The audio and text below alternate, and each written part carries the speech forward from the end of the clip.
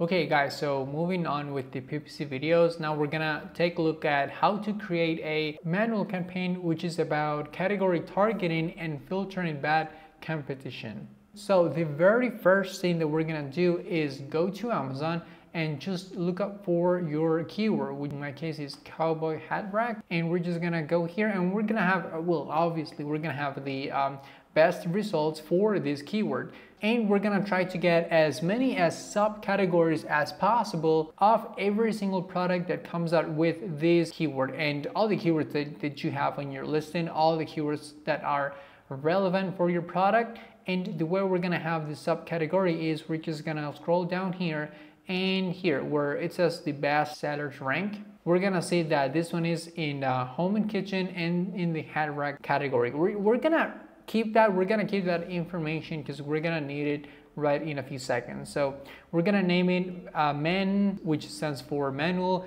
FBA 001. And I like to do filtering bad competition. So that means filter competition, or you can just do filter bad competition and um, you know, you're gonna know that this stands for filtering bad competition. So that's it. On the product, we're, we're just gonna click add in product as always. And here it's gonna be a manual targeting campaign, okay? Here, uh, it's not gonna be a keyword targeting. We're just gonna focus, we're just gonna target on products, on ASINs, not on keywords. And the next step is you're gonna face the product targeting, okay? Uh, remember that we did individual products in the manual targeting with the entry listing. So now we're gonna go to categories because we are looking at categories and then you're gonna click on search. And then here it's gonna ask you for a category name. But then, well, first in the custom bid, as I already mentioned, I just like to do maybe 60 cents, 70 cents.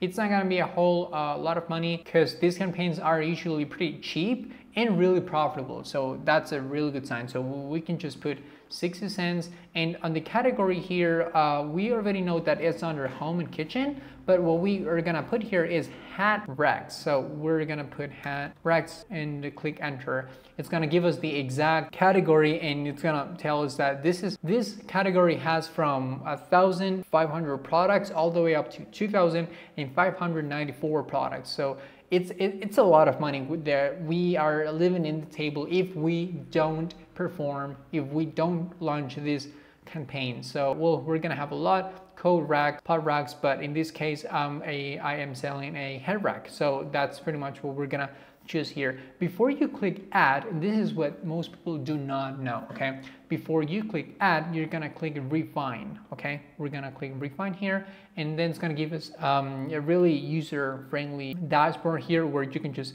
edit this, uh, maximum, minimum, and um, prime eligible, but we, we are all prime if you're doing FBA. Most of you guys are, most of us are doing FBA, so um, that's no problem. We're, we're gonna mess with the price range. We're gonna deal with the price range and the stars rating. We're just gonna work on this too, okay? If you have a brand in mind that um, you want to compete with, maybe if you're sure that maybe a competition like you, like this one, it says P Aladdin. If you're sure, let's say that you would be selling uh, this product, the, the, one, the one I'm, I'm selling.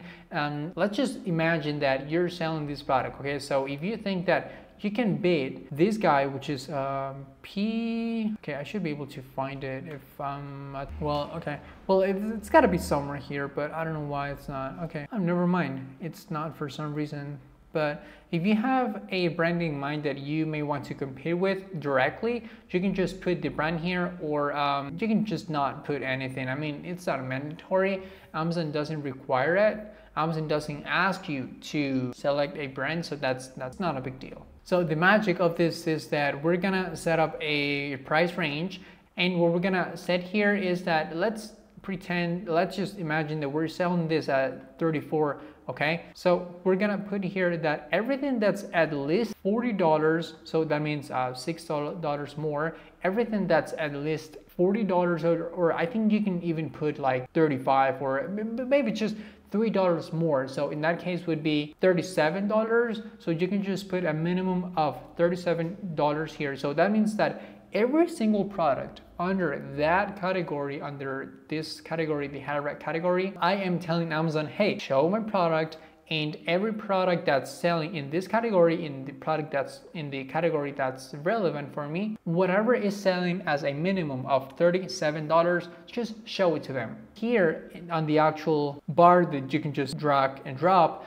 uh, we're gonna put three stars. So that means that everything that has zero to three stars, my product is gonna show right here. So if we combine all these two, the $37 price with the three stars maximum, that means that our product, which is way better than these guys that are selling three dollars more than we are and they are and, and they have three stars and we have in this case 4.5 which i can tell you right now well if a product has two stars 2.5 3.5 stars that doesn't look okay. That doesn't look good on Amazon. Nobody likes to purchase three stars products. So this is a really powerful campaign that most people do not know about and can make you a lot of easy money if you just launch it. So you can just click add here and then it's gonna um, give you the option of the of the bid that we just selected that it's gonna be a custom bid of 60 cents and you're gonna do pretty much the same thing with all the subcategories and if we scroll down here, dynamic bid down only as always. And on the campaign name, we're just gonna put the same name as the ad group. Um, the start, it's gonna be today, and end date, uh, we're just, well, as always, no end date. So there we have it, another PPC campaign that you can launch and not many people know about.